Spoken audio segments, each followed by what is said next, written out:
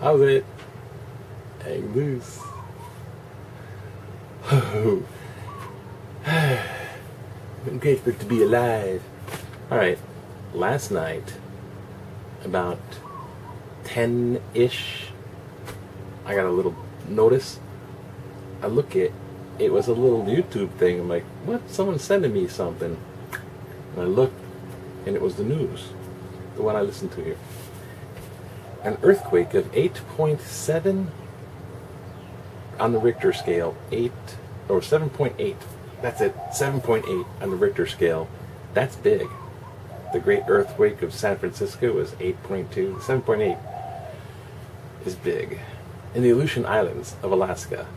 And in Hawaii, we were in the direct line of a tsunami, the big wave. And that was going to impact the island here 1250 in the morning. yeah. Um, well, it didn't hit the islands. It, I don't know. I'm on the South Shore, so I can't can't can't vouch for the, on the windward side. But it also at one o'clock in the morning, a hurricane. A hurricane went to category one. Five high, one low. It's at one. It's going to go up to two in a couple days. It has no wind shear, no cool water between here and there. Is going to come this weekend. Now think of a bowling alley. You know the bowling pins? It's like a freaking, it's bowling down like the bowling alley. It's got, you know, it's ready for a strike. 12 pin, whatever it is, 9 pin. Except this is going to decrease.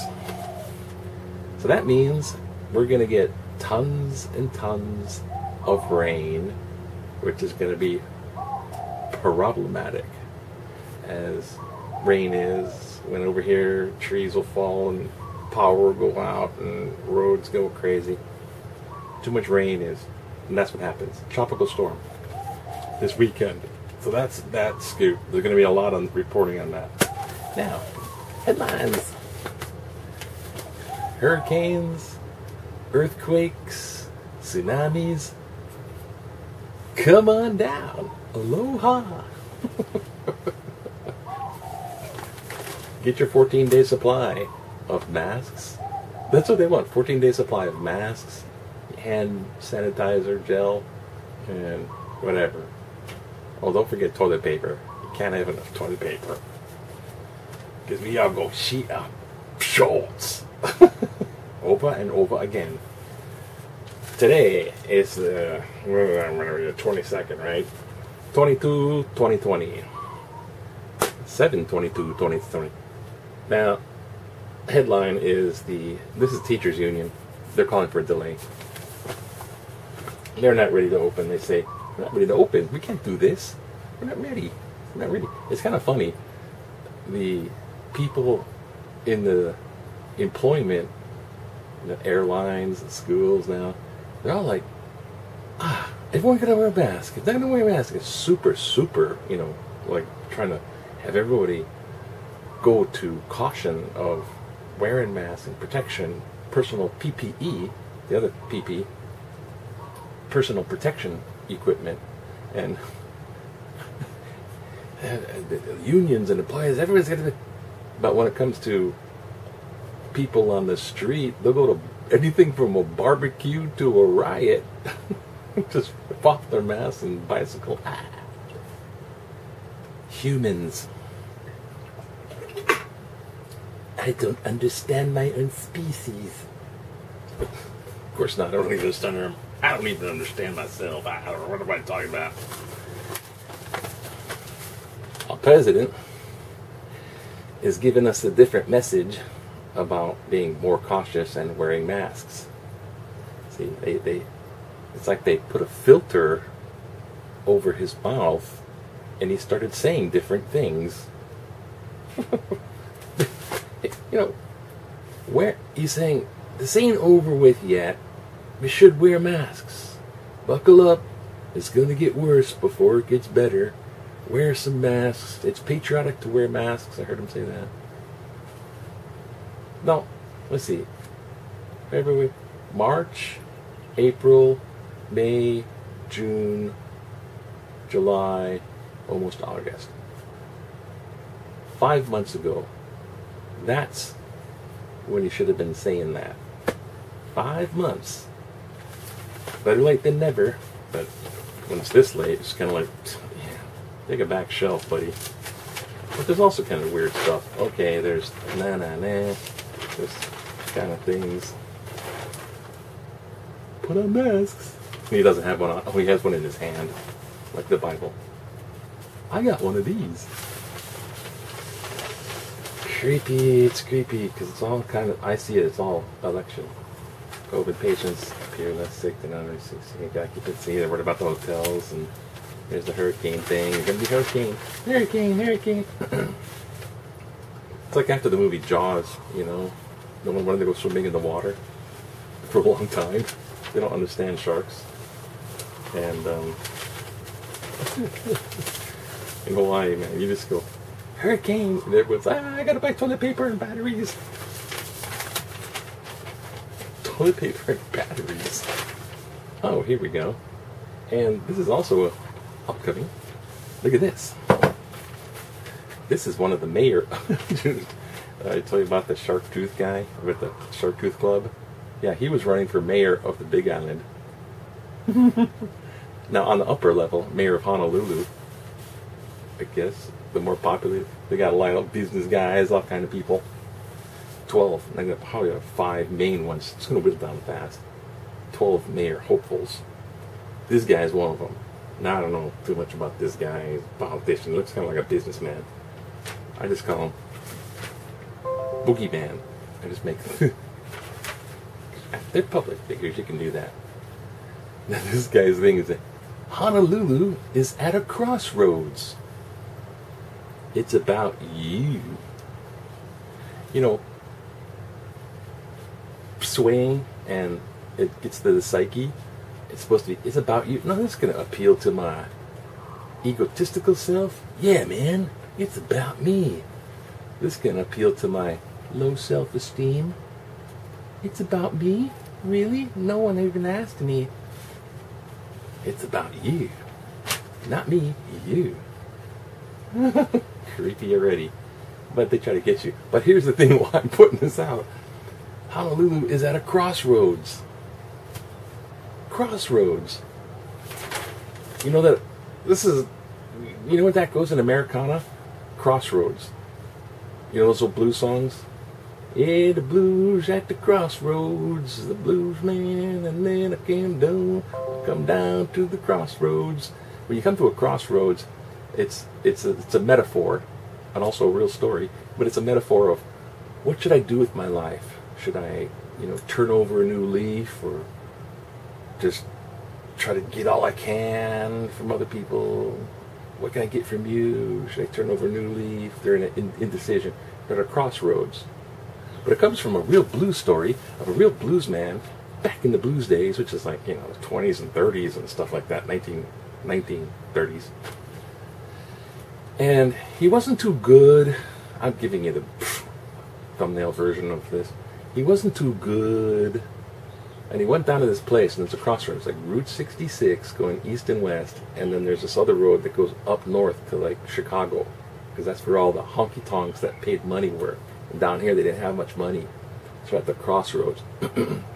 so it was a symbolic area for blues people.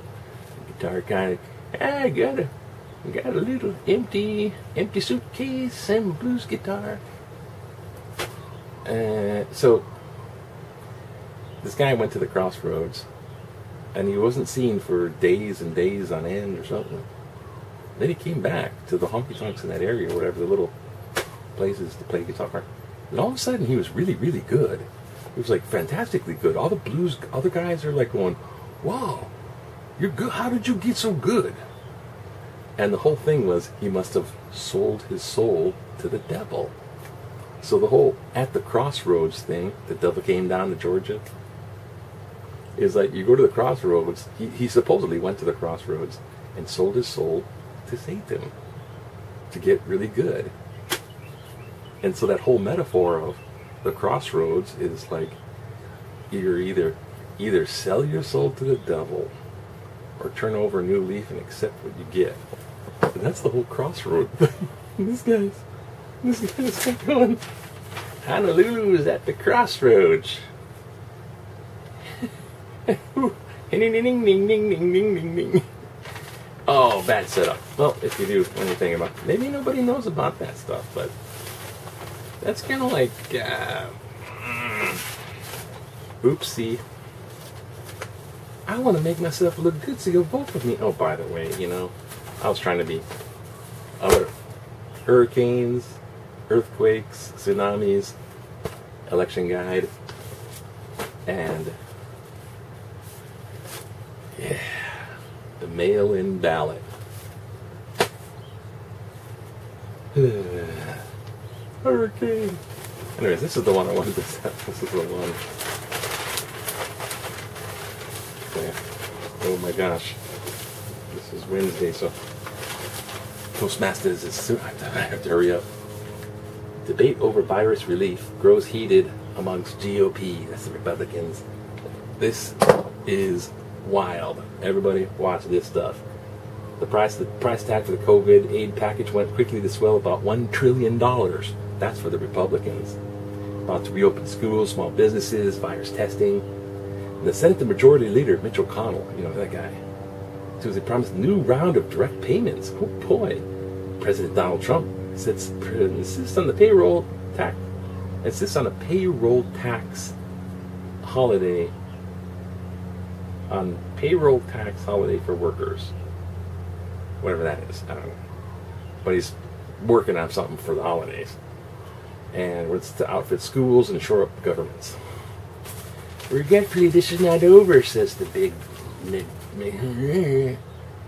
The lunch. Okay, they're in lunch sessions. And some people have access to the back and they're okay with reporting and what they hear spoken about in the lunch rooms. The lunch session grew heated as key Republican complained, key Republicans complained about big spending, vowing to stall the relief bill's passage. They don't want it to go through. Supporters of the package should, quote, be ashamed of themselves, said Senator Rand Paul of Kentucky. No, I know some people. Actually, I know some people from Tennessee, so they're not Kentucky, Kentuckians. Paul compared GOP backers of the spending to Bernie Bros. you Bernie Bro. what the fuck? Referring to young supporters of Attorney Rand. This is insane, Senator Sanders, or no, Senator Rand Paul. This is insane. There's no difference now between the two parties. As a long line of senators rose to speak about aspects of the bill, Senator Ted Cruz asked his colleagues, What in the hell are we doing? Cruz warned if the economy it will shut down, it will come in November. This, the economy is still shut down come November. Joe Biden will win the White House. Democrats will rule the Senate.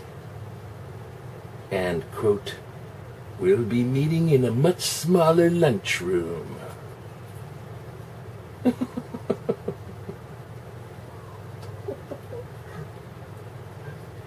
the whole world will go to crap. And that other guy will win. And that other political party will win and we'll have a much smaller lunchroom. If that don't get you, nothing will. Senator Rick Scott of Florida is saying that's wrong to pass the bailout cash strap for states. Says Senator Rick Scott of Florida, quote, Florida taxpayers are not going to pay for New York's expenses. Hmm. Holy shit. Republicans are rolling out a $1 trillion thing, and that's what's making them all. McConnell saying is the starting point. The counter rollout is Pelosi, the Democrats, three trillion. That's this trillion with a T. So they're going, okay, we'll do one trillion. We're upping it to one trillion. And they're going, yeah, well, we're going three trillion. Holy crap! As they race to strike a deal by the end of the month. McConnell's package would send fresh round of direct cash payments to Americans below a certain income, likely seventy-five thousand dollars for singles. Did I read that right? Seventy-five thousand dollars.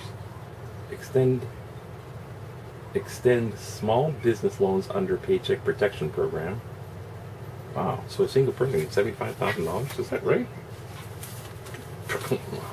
bye bye debt. Yeah. I get this debt. It's a crypto. It's a scam thing. Cryptos are good. The scammers are wrong. It's also expected to include 105 billion for education, 70 billion to help K to 12 schools reopen, 30 billion for colleges. So that's like 205 billion dollars for skill and then $5 billion for governors to reallocate to their states. oh, shit. I think we know we're big business. You know, higher education is big business. It's dollars. Cha-ching. Know, tuition? Are you kidding me? Republicans went to play 600. So what? Some Republicans prefer eliminating the $600 benefit. That's your PPP thing president's priorities are splitting the GOP. Trump wants to repeal the payroll tax, which funds Social Security and Medicare. So those are going down, down, down.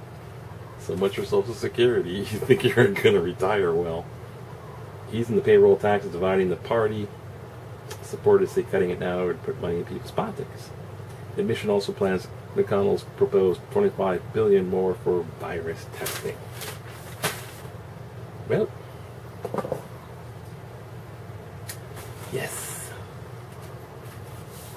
It's not a 65 million dollar question anymore. It's a 65 billion dollar question. Who to vote for? Uh, please vote. Vote with your conscience. Vote as you will. Vote intelligently. But above all, that's the news. Hang loose. Hang loose. No hurricanes, no two tsunamis either. Hang loose. Ah, you mongoose. Aloha.